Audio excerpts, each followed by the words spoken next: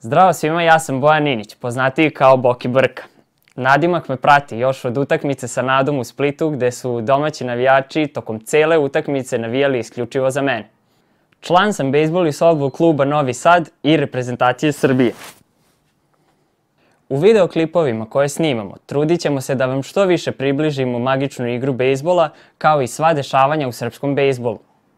Naš cilj je promocija ovog divnog sporta i gledanjem naših klipova pomoći ćete nam da uspemo u tome.